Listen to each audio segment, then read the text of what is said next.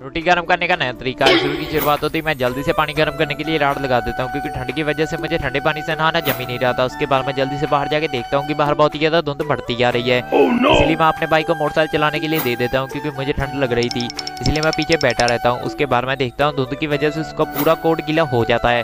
फिर मैं उसको दुकान पर छोड़ देता हूँ। उसके बाद यहाँ पर मैं मोटरसाइकिल सेट कराने आ जाता हूँ क्योंकि इसका चैन कवर बाहर को आ रहा था। फिर मैं भाई को कहता हूँ इसको चेक कर लो। उसके बाद वो कहता है दो मिनट रुक जा अभी देखता हूँ इसे। उसके बाद वो पानी पुने लेके आ जाता है फिर इसको चेक करने लग जाता है। इसको ठीक कराने के बाद मैं आ ही रहा था दुकान को कि मेरा दोस्त लोग लेता है।